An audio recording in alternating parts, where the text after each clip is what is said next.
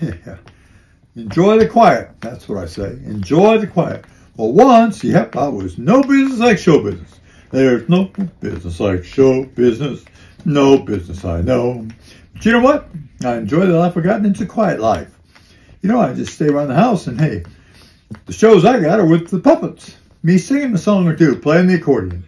No business like show business. No business I know. With a turkey that you know will fold, you might be stranded out there in the cold. Still, you wouldn't change it for a sack of gold. Let's go on with the show.